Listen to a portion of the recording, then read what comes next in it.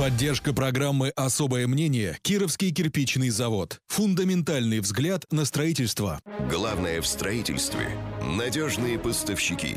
Каждая сэкономленная минута – это критерий качества нашей работы. Кировский кирпичный завод. Верный и ответственный партнер на пути к вашей цели. Киров, Луганская, 59. Телефон 761 500. Особое мнение на 101 FM. 13.12 в городе Кирове начинается программа «Особые мнения». Я приветствую в нашей студии Азиза Агаева, директора аудиторской консультационной компании «Бизнес-информ». Добрый день. Здрасте, здрасте. Бежал Азиз Алиевич к нам издалека. Проблемы с парковкой и пробки в городе. Да. Я напоминаю, что нас можно не только слышать, но и видеть. На нашем сайте эхокирова.ру идет прямая трансляция эфира. Там же можно задавать вопросы нашему гостю через форму анонса. И вопросы я принимаю э, посредством СМС на номер 8 909 720 101 0. Пожалуйста, пишите.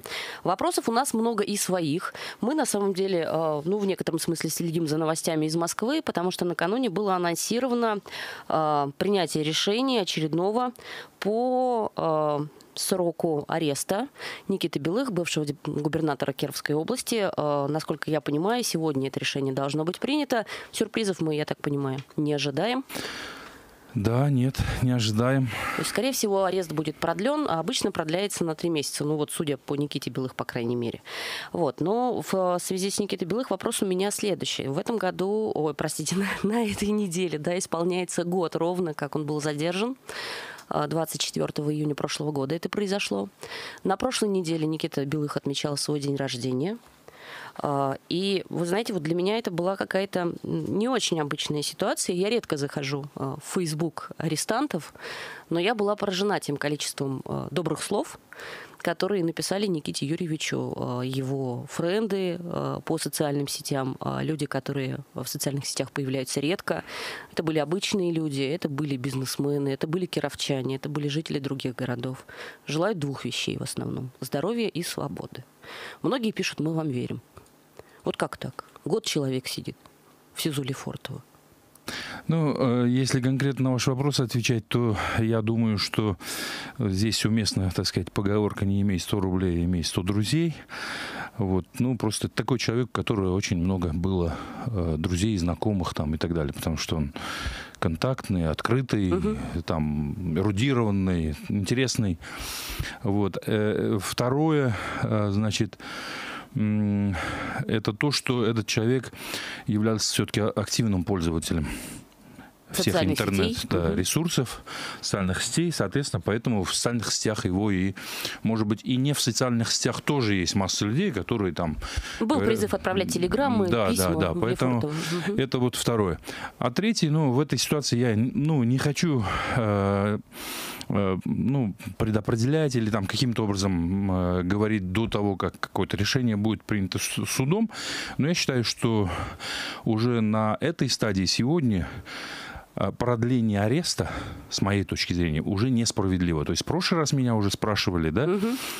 То есть я думаю, что если следствие хотело, у него уже была возможность собрать достаточное количество доказательств вины экс-губернатора нашего и э, нет ни, как бы, ни единого доказательства. Понятно, что э, Билых был влиятельным э, человеком, да, что, наверное, он мог бы повлиять на ход следствия каким-то образом. Но Сейчас уже, следствие закончено. Но уже следствие закончено, прошло достаточно времени, так сказать. И поэтому я считаю, что держать его дальше как бы под арестом, ну, с моей точки зрения, это ну, неправильно, несправедливо, ну, бесчеловечно, там, ну, пусть сидит под домашним арестом, условно говоря, и тем более, когда слышишь, что какие-то там есть проблемы там со здоровьем, там, с докторами, вот.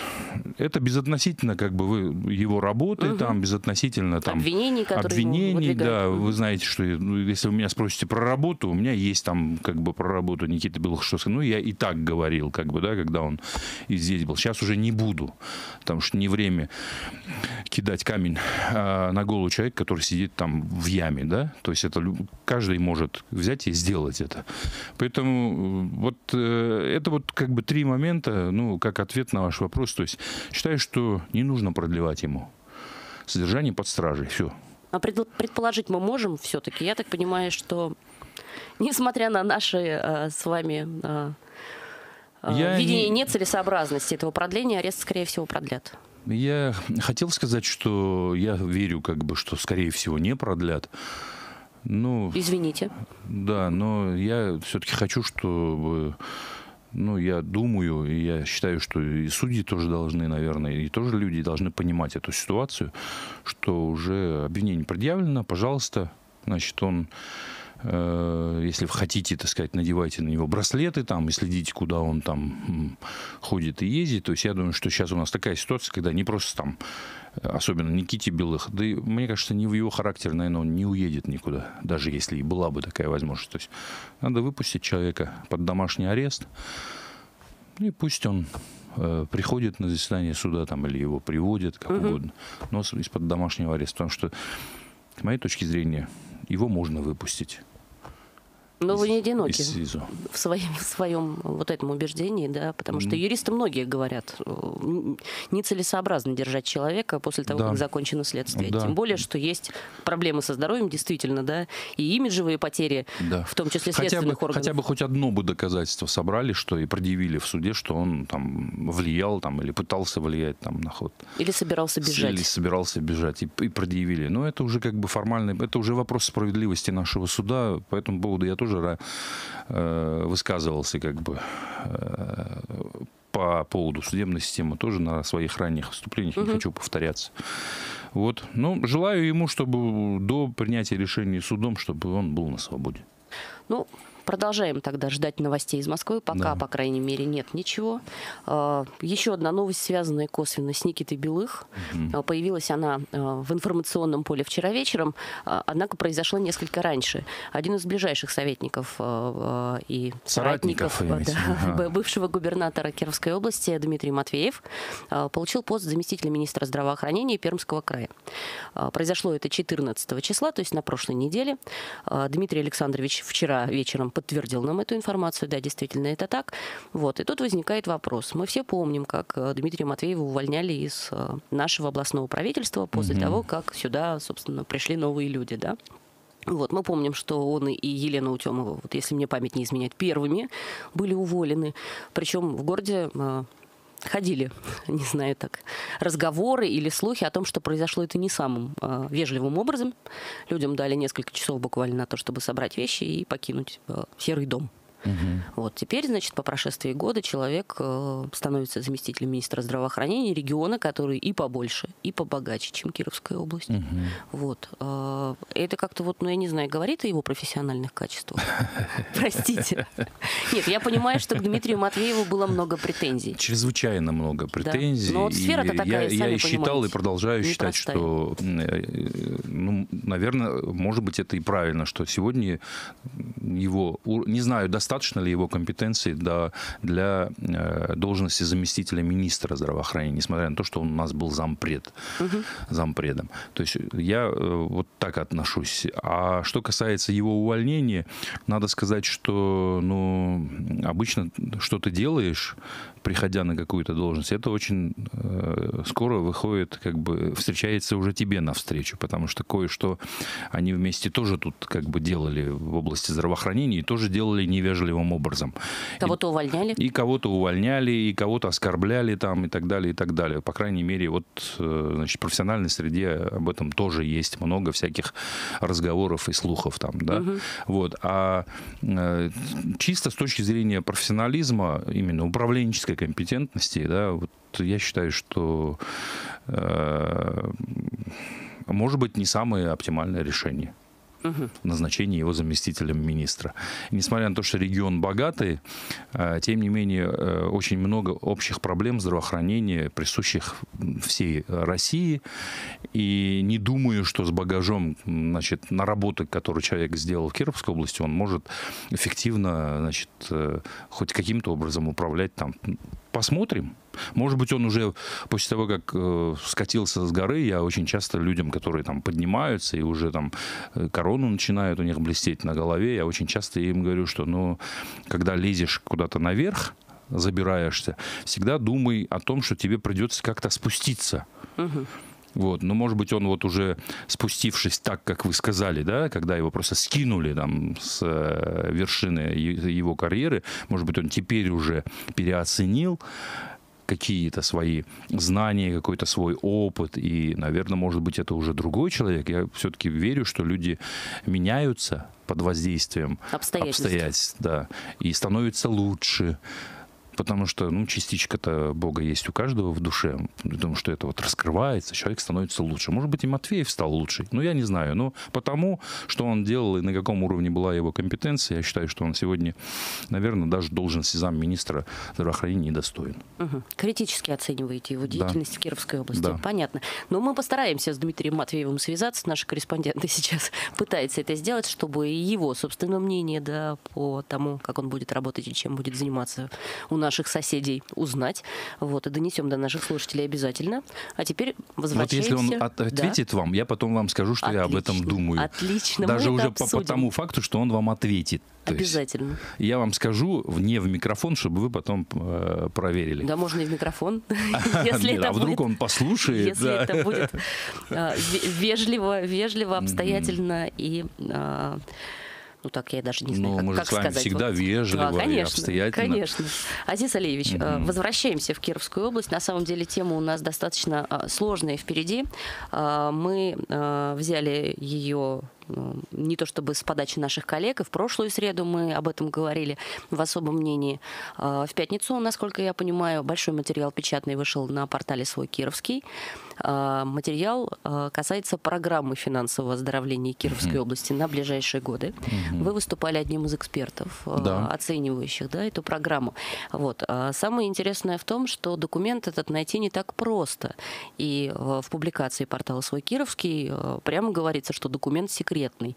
Объясню почему. Если ты заходишь на сайт Ну, он не секретный, его обозвали как бы секретным, ну, да, потому понятно. что к нему как бы... Ну, доступ к нему затруднен. Да, доступ затруднен. Вот поэтому... Доступ к нему затруднен затруднен, можно найти его на федеральном портале.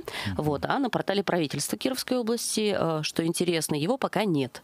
То есть есть постановление 56-181 от 31 марта, а дальше уже идет постановление 58 дробь 183 от 6 апреля. Ну что мы сразу правительство обвиняем? Да. Вот, мы ну, не обвиняем, да. они, может, дорабатывают Да его. там какой-нибудь... Ну, Ошибки исправляют. Нет, какой-нибудь секретарь или какой-нибудь там разместитель этого, как бы он... Вот, Документа. Да, вдруг не разместил, и все. Забыл. У меня таких ситуаций было э, очень, когда ты видишь, что должностное лицо делает специально какие-то вещи, а потом тебе приходит бумага, что вот крайним сделали стрелочника, что вот, оказывается, стрелочника виноват там на самом деле такие документы должны быть размещены открыто. Конечно. Особенно и, после да. того, как журналисты написали, что документ секретный. Да, его надо было сразу разместить, сразу найти на стрелочника. странице. Кто виноват, что не разместили. Ну, пока, видите, вот люди э, на Иволге, между прочим в Самарской области.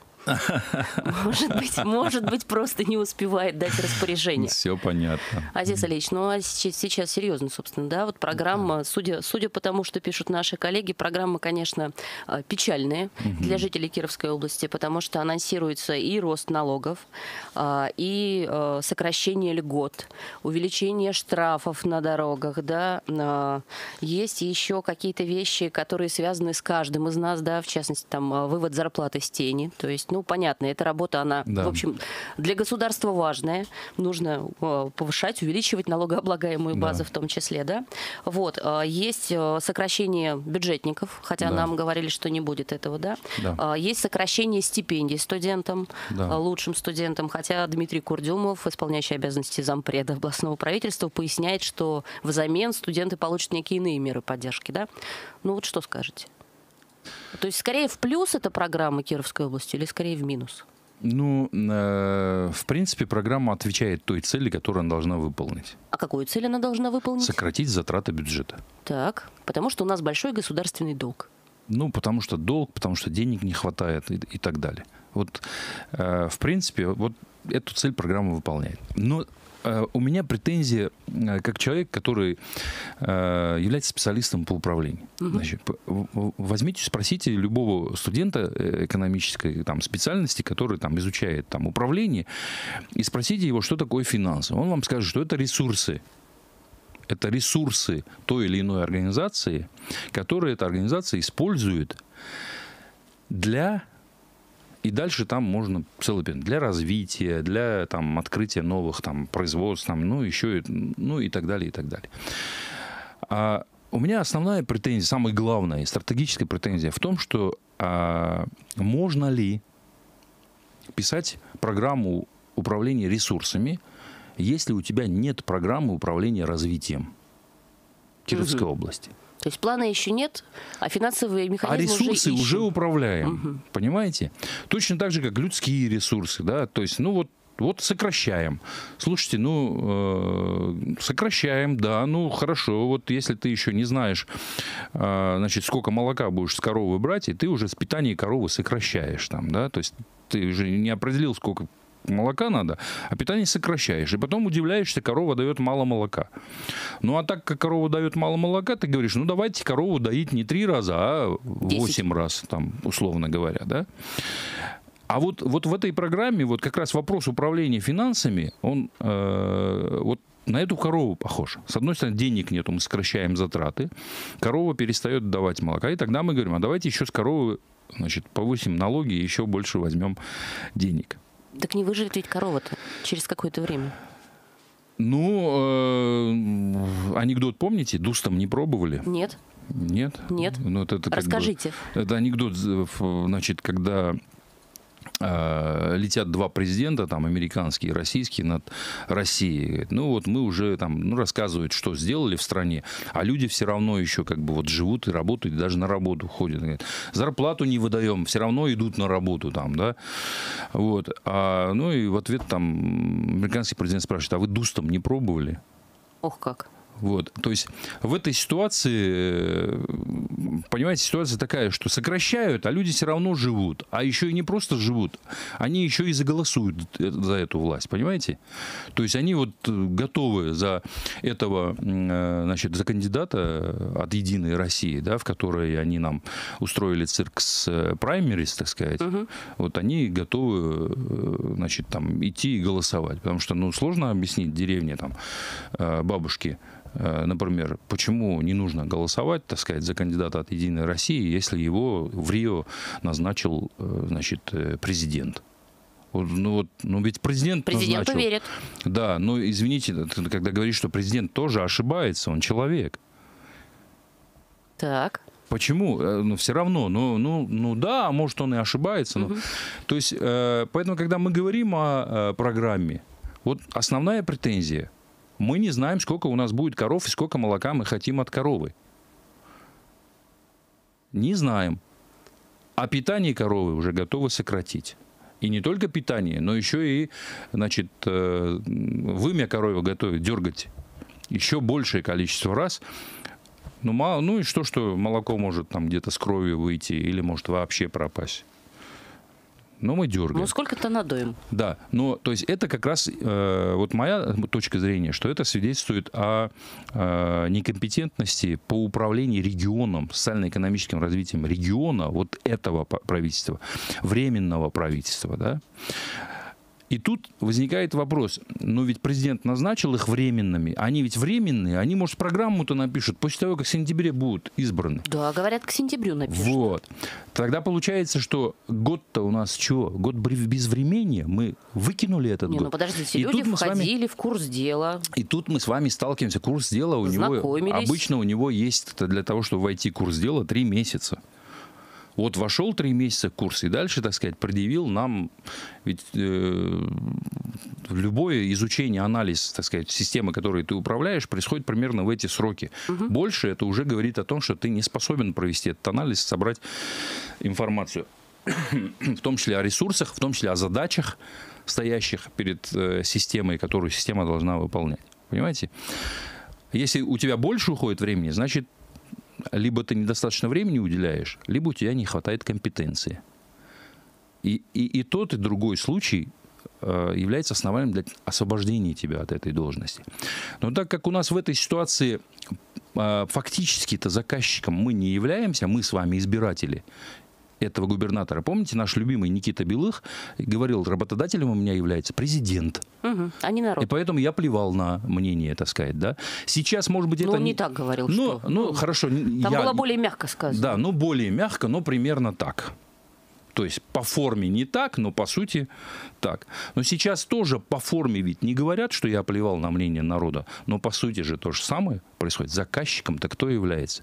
Хотя мы должны быть заказчиками угу.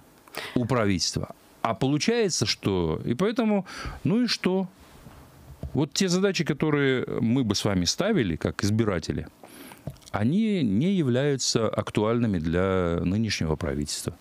Но мы сейчас вернемся к этому вопросу, сделаем небольшую паузу, должны мы уйти на перерыв. Напоминаю, что Азиз Агаев, директор а, аудиторской консультационной компании «Бизнес Информ» у нас а, в гостях, высказывает свое особое мнение. Две минуты и вернемся. Особое мнение на 101 FM. Живое обсуждение продолжается у нас с Азизом Агаевым и в перерыве. Напоминаю, директор аудиторской консультационной компании «Бизнес Информ» Азиз Агаев высказывает у нас сегодня свое особое мнение. Говорим о программе финансового оздоровления Кировской области на ближайшие годы. Закончили, собственно, вот на том, что Азиз Алиевич э, в перерыве мне сказал, зачем вообще нужны временно исполняющие обязанности. Выборы назначать через 2-3 месяца и вперед. Да. И пусть человек несет ответственность и уже пишет программу развития. Конечно и с этой программы идет на выборы. Угу. А временно может исполнять кто угодно. Вот посмотрите. Заместитель. Э, первый заместитель может исправлять. Ну, вся команда у нас была, Председатель конечно... законодательного собрания. Вы что считаете, что Быков бы хуже исполнял временно эти обязанности ну, 2-3 месяца, году, чем, чем в Васильев? Году не Быков был. Ну, ну без разницы. И Вонин. И он да. тоже бы справился временно с этими как бы обязанностями. Вот и посмотрели бы, если бы у него были бы амбиции губернаторские, какую бы он нам программу как бы э, выдвинул. А зачем нам? Мы уже больше года будем жить к сентябрю с временно исполняющими обязанности. Я вот с моей точки зрения, вы спросите потом экспертов-юристов, я как бы свою точку зрения uh-huh. высказываю, что временно исполняющие обязанности и назначение президентом этих временно исполняющих обязанностей неконституционно. Я считаю, что это не согласуется с Конституцией. Это первое. И второе, это фактически показала эта ситуация. Вот на примере Кировской области оно показало несостоятельность назначения этих временно исполняющих обязанностей. Потому что временно может кто угодно. И тогда бы пришел, если вот выдвинул бы президент наравне со всеми, Васильев сказал, что я еще, давайте дадим президенту такое право выдвигать, там, кроме партий политических, еще президенту, выдвигать кого-то на эту должность на выбор. Вот и вы, выдвинул бы как бы президент, помимо политических партий, значит, Васильева на должность, э, кандидатом на должность губернатора. Вот и посмотрели бы, с какой программы пришел Васильев. А то год поработать временно, потратить ресурсы, поуправлять ими, и после этого, значит, после того, как изберусь, условно говоря, или почти как после того, как изберусь, я вам скажу, как я буду управлять. Я уже год управляю, но я вам скажу, как я дальше буду управлять. Ну как, мы уже увидели, как ты управляешь. Ну подождите, подождите, дай, давайте шанс-то человеку дадим все-таки. Ну вот, сейчас вот... Сейчас... Какому человеку? Васильеву. Дайте мне шанс. Почему Васильеву-то дали? Ну, извините, ну, это вопрос ну, не ко мне, это вопрос ну, к Владимиру Владимировичу так что значит Путину. дать шанс? Шанс дают на выборах. Так. А без выборов шанс – это неконституционно. Хорошо, к теме выборов давайте перейдем. В это воскресенье очередного кандидата нам назвали на пост губернатора Кировской области. Стал им Кирилл Черкасов, руководитель, э, а, депутат, депутат Государственной Думы от партии ЛДПР. Угу. Собственно говоря, вот э, очередной. Тут у нас еще Сергей Павлинович Мамаев заявил о готовности, да, да уже официально. Николай Барсуков, это партия коммунисты России, к которой не все относятся серьезно. И Антон Долгих, я так понимаю, что он сама выдвинулся, да? Молодец, вот, Молодец. Но Э, внес оживляш, так сказать, да. Но, тем не менее, эксперты оценивают критически все-таки шансы. И, или не критические. Чьи вот шансы? Кандидатов. Э, шансы оппозиции в сравнении с Васильевым избраться. Вот смотрите, вы говорите, э, там выборы, местные какие-то кандидаты и прочее. И что мы видим в итоге? То есть, э, ну, есть вот у нас, есть определенное количество кандидатов. Да. С весны велись разговоры о том, что они каким-то образом между да. собой договорятся, выдвинут единого человека, объединят ресурсы, а по факту? Смотрите, э, значит, чисто по-человечески я к каждому из этих кандидатов отношусь... Хорошо. Уважительно. Уважительно. Да. Угу. Теперь давайте к делу перейдем. Так. Чтобы они не обиделись. Эти люди уже выдвигались. Эти Все. люди уже, угу. ну, кроме Антона. Ну, ну он, он на, други, на других условно. выборах. Да. Эти люди проиграли. Значит, у них была программа. Они с этим программой выступали. Они проиграли. Э, можно сказать, что там, да, система не позволяет там вот выдвигаться и побеждать не э, от партии власти. Там, что угу. партия власти скажет? Вот в нескольких регионах же есть оппозиционные кандидаты, побеждают же. Есть. Вот. Поэтому этот аргумент там типа не проходит. Но выдвигались, выдвигались. Программа была, была. Не была поддержана населением, не была.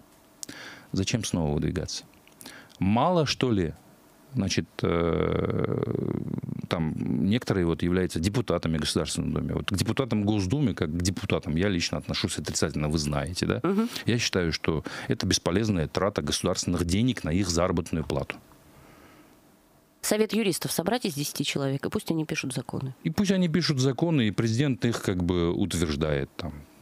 И все и все федеральное собрание, оно как нагрузка как бы на наш бюджет там отпадет. И вот эти люди сегодня подают там, я понимаю, что среди них там, например, среди этих людей там, да, э, Мамаев и Долгих, или Долгих, как у него?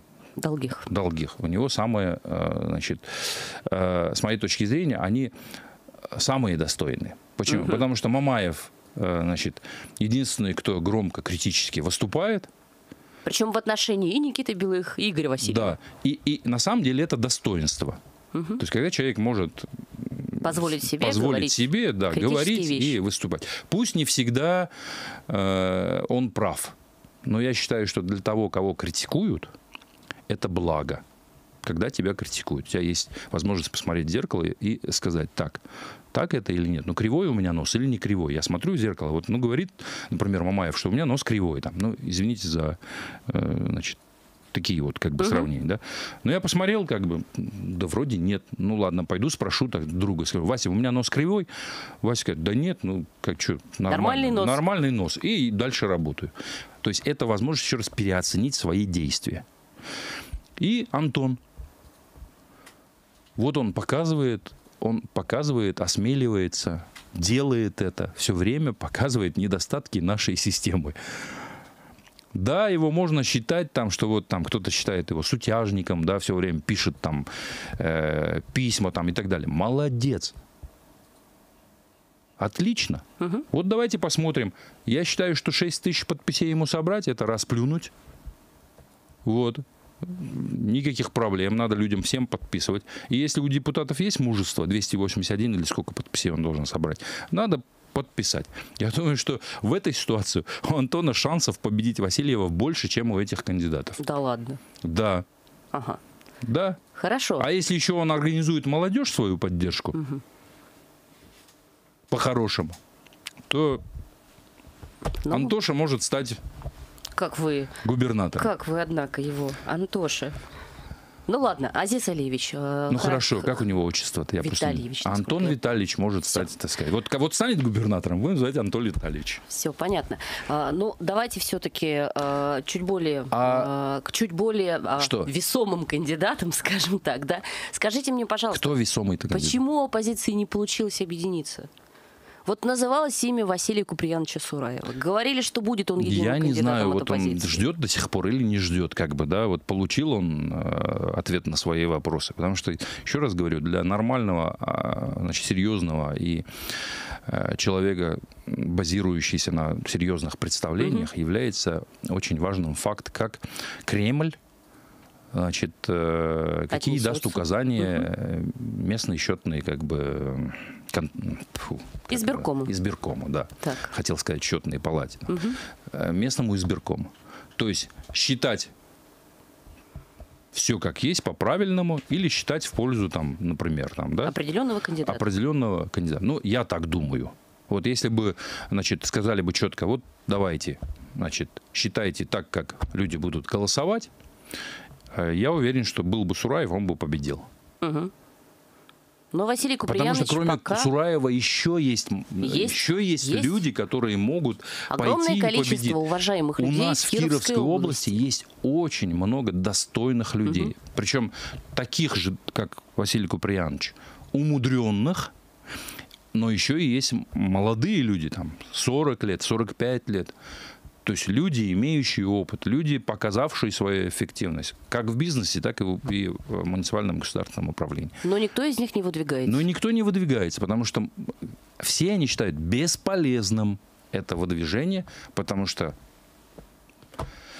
Азиз Ильич, буквально две минуты у нас остается, даже Да. одна, наверное. Вот давайте прогноз. Ведь эта ситуация, она не только в Кировской прогноз области. чего? Прогноз того, как долго будет продолжаться вот это вот. Огромное количество достойных людей, которые не готовы э, выставить свои кандидатуры, потому что не уверены, что вообще что-то получится. Это процесс эволюционный. Так. Пока люди, э, значит, э, вот сами люди пока не поймут, что их судьба должна быть в их руках, они... Это мы про они в избирателей сейчас про говорим избирателей или про говорим. кандидатов? Про избирателей говорим, потому что те же... э, смотрите, у нас есть просто избиратели, и у нас есть избиратели привилегированные. Скажем, вот члены партии «Единая Россия», которые там состоят там, в конференции или в президиуме, или там в политсовете, они привилегированные избиратели. Там, да? Вот пока люди не поймут, что э, э, избирать нужно или там выдвигать нужно не по-рабски, да, взяв под э, козырек, а по-мужски, как бы по по-новгородски, если хотите, демократично, там, да, вот там голосованием, там, да, то э, не будет ничего. Нет, но пока люди не поймут, это, конечно, э, Это вот хорошо и- и, это правильно. именно срок. Но вопрос в том, э, что хотя бы, ну, какие-то реальные бы сроки нам понимать, когда все-таки начнет что-то меняться и вообще начнет ли. Это я сказал снизу. Это Оно снизу. может измениться ситуация сверху. То есть из Москвы Если отмашку дадут. президент это поймет, что страна может двигаться только тогда, когда нет монополии на власть или на что-то другое. А он мы, поймет? ведь, мы, ведь не разбива... мы ведь не развиваемся только... По- Посмотрите, у нас везде, у нас на должность президента монополия. Монополия. Монополия. У нас на, должность, э, на должности депутатов Государственной Думы монополия. У нас на должности губернаторов монополия, потому что вот так система построена. У нас монополия практически везде. Монополия, она хороша только в условиях, или вот такая централизация, она хороша только в условиях войны. Ну, надеюсь, нас э, это не затронет. А Потому что ближайшее там время. нужно очень быстро и резко направлять ресурсы туда, где происходит, так сказать, беда. Но мы уже... И принимать решения без обсуждений. Да, и принимать решения без обсуждения. Но эта ситуация ведет к стагнации, когда нет войны. То есть мы начинаем отставать. Ведь управлять внутри страны нельзя без оглядки на то, что происходит вокруг. То есть как развиваются технологии вокруг, как э, изменяется мир вокруг. Ведь нужно видеть не только ракеты, подвигаемые, там, например, к нашим границам, или там армии, и говорить там, скоро все эти армии никому не нужны будут, потому что технологии уже достигают такой, э, такого развития? уровня, Мгм. такого развития, что э, мы можем проиграть, потому что мы отстали в технологическом развитии. Я имею в виду наша страна. Я понимаю. Понимаете? И поэтому очень хочется, чтобы мы поняли, что вот нужно менять всю эту систему Из болота надо вылазить. таким образом, чтобы не было монополии. И поэтому возникают вопросы. А кто, если не этот? Кто, если не этот? А кого ты еще видишь? Так дайте людям возможность себя проявить, чтобы мы их увидели. А то ведь как только кто-то проявится, так сразу оп, быстро его там наберут грязи, компромата, там, а если даже и нету, то подстроят. Ваши бы слова, Азиз Алич, да президенту Путину в уши, как говорится. Ну, я надеюсь, да? что я, Может я быть, ведь тоже, они я ведь тоже люблю страну и э, ну, все еще верю как бы президенту, все еще. Мы все Потому верим. что можно снизу, это эволюционный путь, это достаточно долго, а можно ускорить этот процесс тем, что сверху воздействовать на все эти процессы. Особое мнение Азиза Агаева, к сожалению, завершается. Не хватило нам А давайте буквально продолжим. пяти минут. Вот, ну никак, никак. Москва будет ругаться, если мы сильно переберем по эфиру. А, Спасибо большое Азизу Алиевичу. Спасибо Директор вам. аудиторской консультационной компании «Бизнес Информ» был у нас в гостях. Я, Анна Лапшина, с вами прощаюсь. До свидания. До свидания. Особое мнение на 101 FM.